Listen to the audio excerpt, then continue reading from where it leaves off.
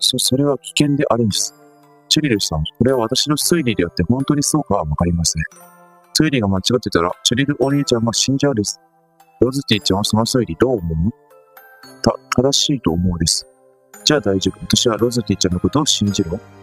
いいな、認める。万が一あっては、みんなに申し訳が立たない。貸しなさい。その設計図によれば、我の魂は腹にあるのだな。うん。ならば我でもいいということ。え、風間お姉ちゃん。ちょ、風間ね、まさか。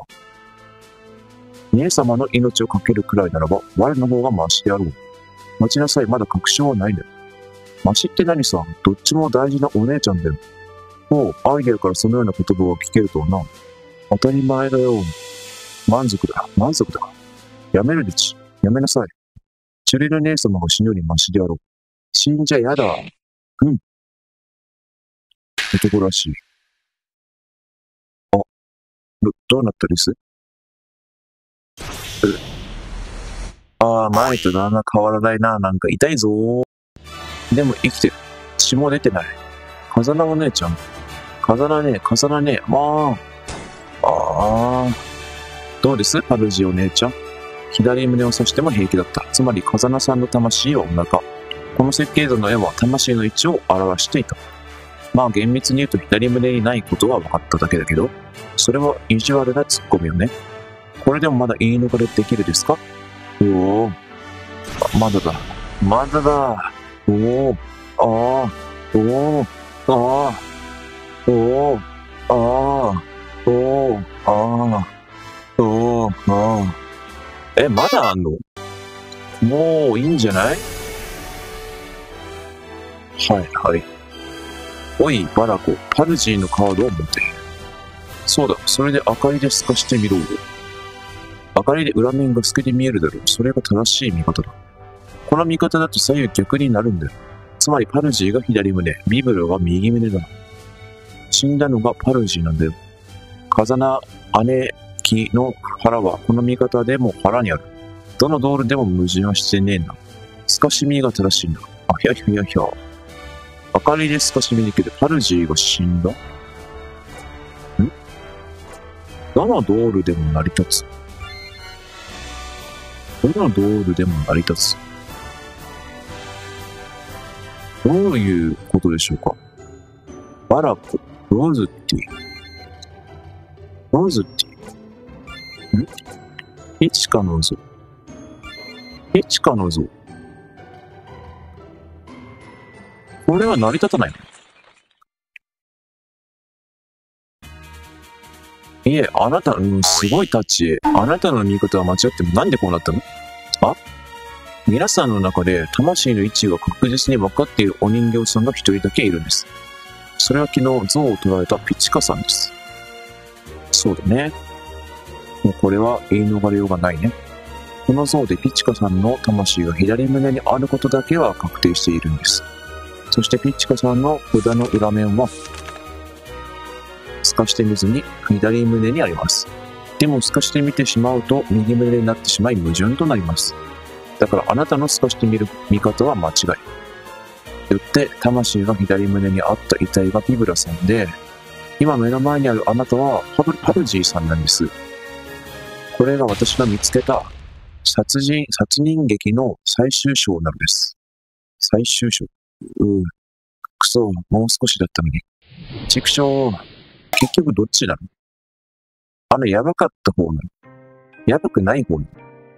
討論終了。やばくない方か。が犯人だったってこと？最初から入れ替わってなかったってことか。うーん、騙されたな、じゃあ、完全に。ん？あ、あ、ちょっと待って。あれ？パルジーがやばい方か。あ殺人コンテストだと面白い企画じゃねえか。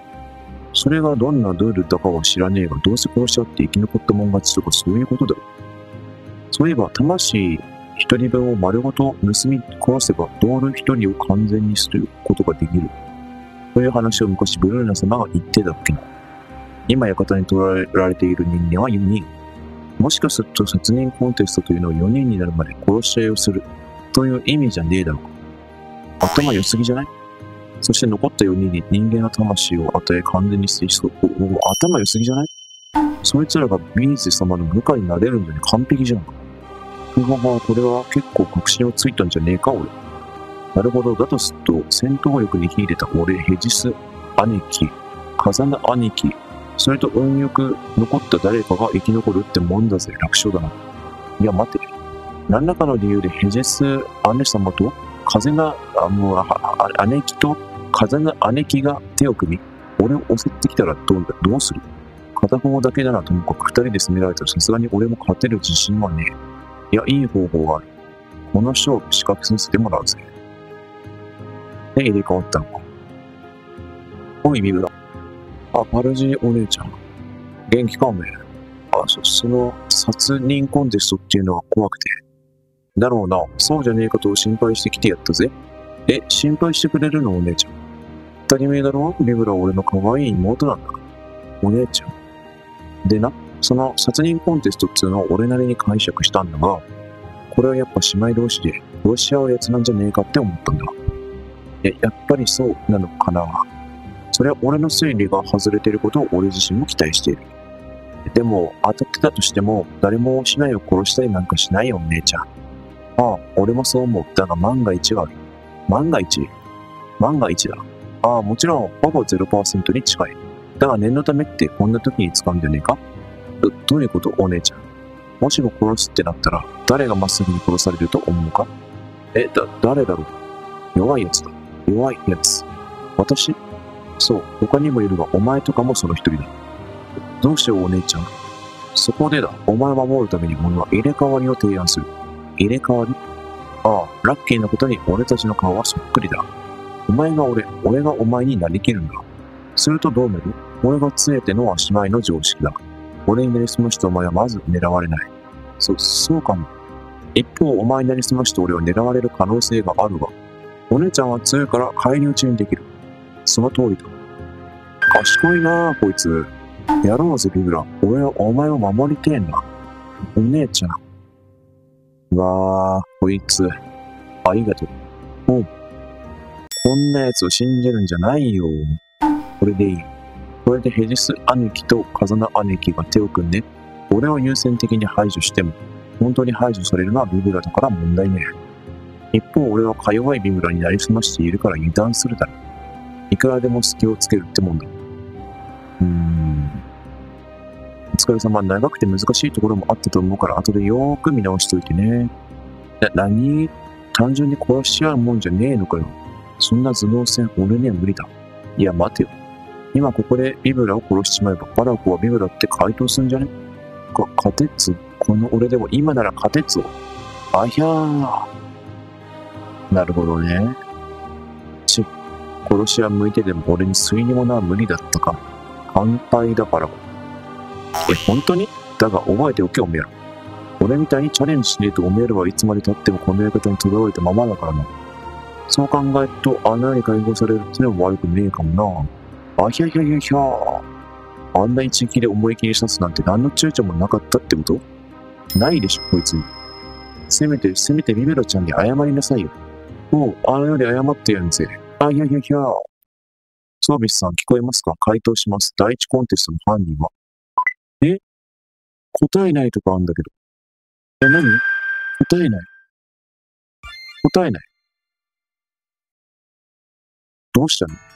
あ、あの、私まだなんかこう、違和感があるんですけど。どういうこと？いえ、具体的に何かは言えないんですけど。なんだろう？き、なんか気味が悪いの？もう一つの殺意？私たちを結託してあなたを陥れようとしているって疑っているのかしら？そ、そんなことはないです。みんないい子です。信じてください。いやいや、パルジーはいい子じゃないでしょ。うぐ、いいのよ、無理しなくて。ヘジスさん。会って間もない私たちを信じる方が無理あるのよ。気持ちはわからないま、までもない。違います。そういうことじゃないんです。でも、あなたには少なくとも絶対に信じられるドールが一人いるでしょ？ヘジス姉さんですね。いや、違うんですよね。ロ、ロロズティちゃんかな？ごめんなさい、リリね。期待に応えられそうにないわ。ロズティよ。詳しいことは知らないけど、あなたたち二人は額を合わせることで記憶を読み合えるんでしょ？今ここで額を合わせてみたら、少なくともロズティは信用できるってなるんじゃない？そしたら少しは安心できると思う。その皆さんのこと信用しないわけでも。とにかくやってみたらどう？ロズティさんいいですか？はい、私は大丈夫です。バラコさんの不安を私が取り除けるのなら、喜んで合わせますです。うん、落ち着こう、私。大丈夫、大丈夫。行きます。はいです。これしたところでなんか変わるんかな？あ？はい。もう一つの殺意。ピチカの像。え、なになにピチカの像。何するでち？ん？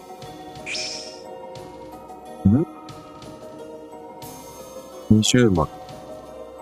遺体の調査。内容確認。あら、怖怖い。左胸。のつき。裏返して。貫通してる。もう一つの撮影。遺作の話、道路の価値観。はい。エニスさん、さっきあなたの発言に不可解な点があったのです。何のメリットもない。遺作は残せる。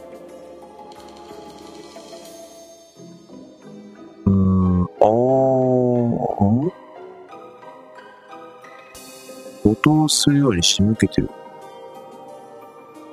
うーん、装備スの砂時計。あ？これかな？え？ロズティの証言。ペルビレちゃん、内容確認。ペルビレちゃん、説明の拒否。これは関係ないかはい。血まみれのナイフ。これ、血まみれのナイフ。意識不明のビブロ。意識不明のビブロ。大事な証拠品。え？わかんない。意味がわかんない。ちょっとわかんない。え？体の調査。血まみれのナイフ。あ、な、な、な、な、なんで？どういうこと？あ？あ？安心できたかしら？ナイフが小さい。え？犯行に使われたナイフが小さいんです。ん？ん誰？それは人間のあなたからしたら、私たちドールのものなんて全部小さいでしょうよ。違うんです。人形のナイフとしても小さいというか短いんです。どういうことですか？まず見てないドールのために説明すると、そのナイフはこのくらいの長さでした。ラズティさんの両手ですこのくらいの長、どのくらいの長さかみんなに説明した。分かったわ、それで？それで皆さん魔法の写真版で遺体の写真を確認してください。あ、僕は嫌だよ。我慢してみなさい。あの二人何か重要なことに気づいたのかもしれないわ。うーん。ん？このビブラさんの遺体、裏まですっごく貫かれてるんです。でもパルジーさんの内部は、この場にはありませんが、さっきロズティさんが示したように、こんなに貫通させるほど長くないんです。ああ。よくわからんな。どういうことだ？とぼけるのもいい加減にしなさい。とぼけてねえって今更嘘なんかつかねえって。それにもう一つ違和感があったんです。正面から見ると三浦さんは12時の方向に傷口が開いているのに、あ ?1 時の方向に傷口が開いてる。どういうこと？私てっきり刺している途中で刃先が曲がったか。そもそもそういう形状のナイフだと思い込んでいました。でもパルジーさんのナイフはそんな形していなかったんです。これはつまり、後ろからも刺された。はい、え背中の傷口は正面からのが貫通したものじゃなくて、後ろから刺された傷口だったんです。え体合わせで考えたのはここまでです。合計2回刺された。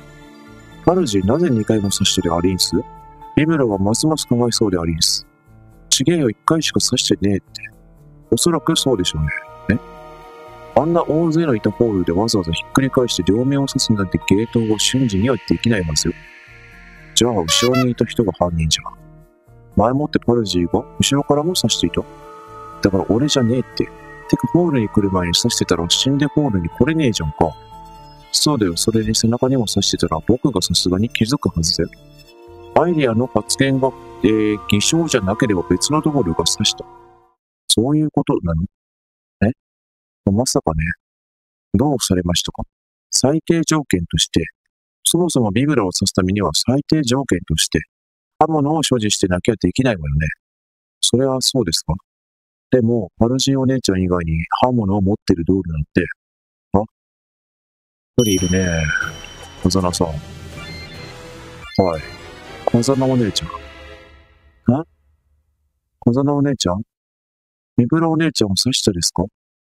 え？何その顔あ何のことだ？何のことじゃなくて、三村お姉ちゃんを刺したですか？はいかいいえで答えられるでしょ。え？